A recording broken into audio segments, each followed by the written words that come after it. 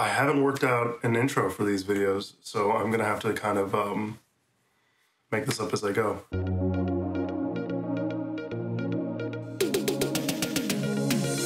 So a little over a year ago, December of 2019, I was uh, just starting the writing process, and it's the first script I've ever written that's based on another idea. It was adapted from a story that my wife has been writing for close to 10 years, if not a little longer. And when she brought it to me, uh, I read it, and my first thought was this is impossible to adapt in my current sort of skill level, budget level, whatever.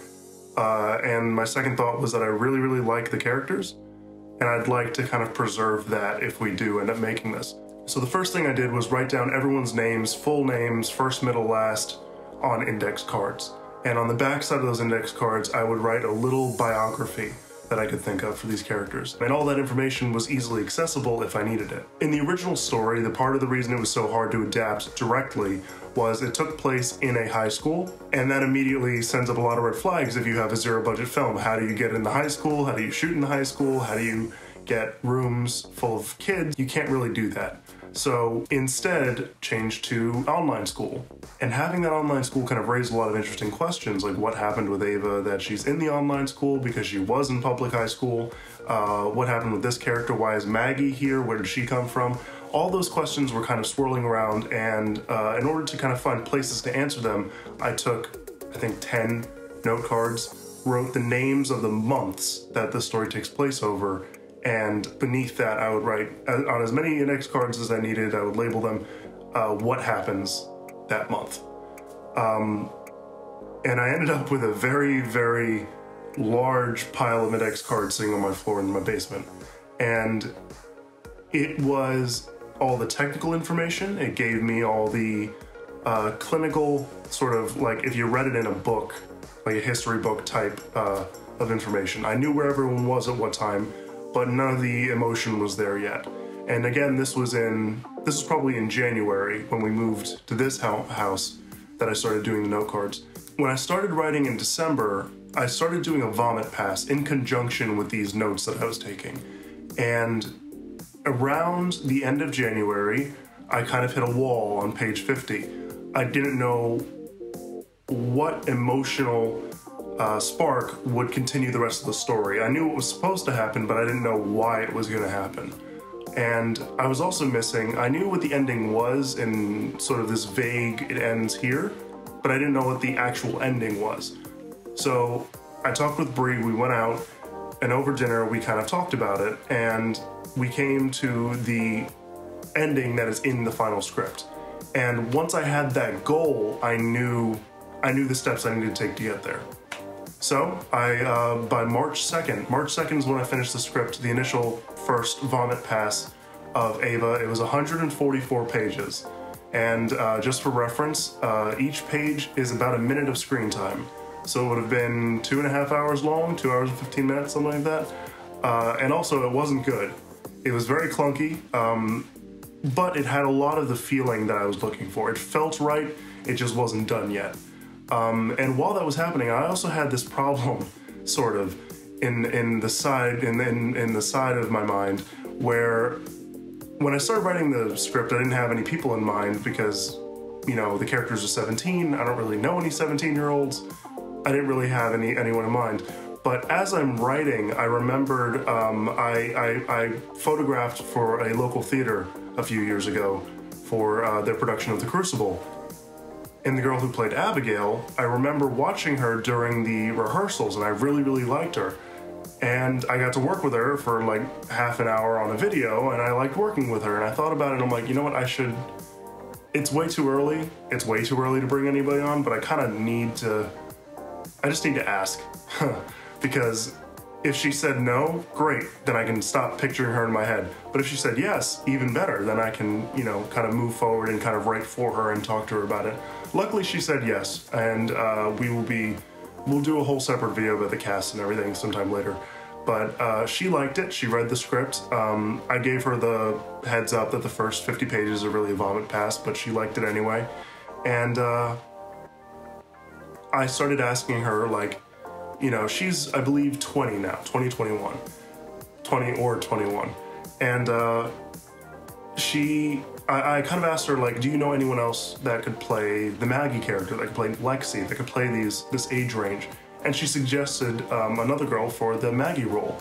And she looked familiar. and I didn't know why. It turns out she had also been, not in The Crucible, but in a different production from that same playhouse. I knew her as well. I had seen her uh, mainly singing, but I had seen her and I was like, you know what? She might be a good foot. Okay, sure. Let's let's go for that. Contacted her. She read the script. She liked it, and she was in. Uh, and then the last part of that trio actually just said yes about a week ago, which was great. I contacted her uh, maybe late March that same year. Uh, and if you know anything about March 2020, that was fun. Uh, but I, I, contacted her. She read it. She enjoyed it, but she wasn't able to sign on yet. And uh, after we we talked finally this past month, January of 2021, uh, about the script, showed her the second draft. She re- she read it. She liked it. She responded well to the material.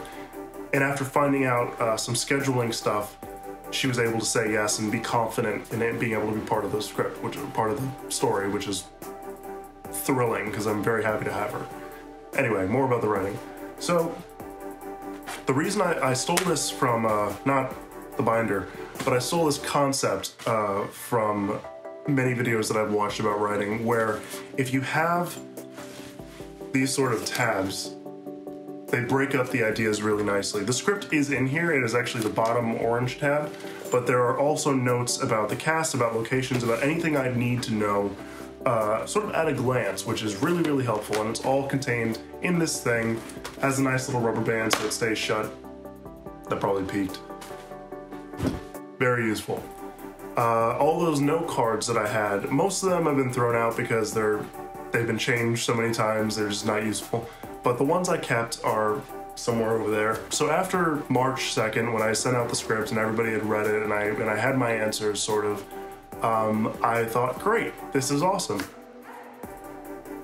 I need to rewrite this because this is not done yet. And uh, that started a very, very long 10 month, nine month rewriting process that was also coupled with the finishing of Mockingbird. Um, I'm not going to talk about Mockingbird here. I've talked about it enough in my life over the past three years. But very long story short, it had been in production hell. I finally had some time to work on it with quarantine, and I finished that movie over the summer and fall of 2020, released it on Thanksgiving. During that time, I had been working on Ava, I had been working on character stuff, I had been working on beats that I wanted to work out, adding to the script slowly but surely. But my main issue was that first 50 pages. After page, you know, 51 to 144, that was the script. I was very happy with it. I knew where it was going. I was adding pieces to that, but that first 50 pages needed to go and needed to be replaced with 10 or 15 pages of something good rather than just kind of word vomit. After hard just at, at page 50, just cutting it out, starting at page 51, I had to figure out the opening. After I released Mockingbird on Thanksgiving, and I had an idea. I wrote out this 15 page 20 page prologue, and it had surmised everything I was having problems with. Because before that, I had tried different intros, and I had tried the cliche, literally, just like an announcer, a newscaster explains the plot to the audience. And just like, you know, you expect it to be, it was fucking terrible. But I needed to get that out because it was just an idea that I couldn't shake. I knew it would be bad, but I needed to get it out. Turns out it was bad, so I threw that out. I tried the alternate route, which was sort of a 20 minute short film, uh, silent film about depression.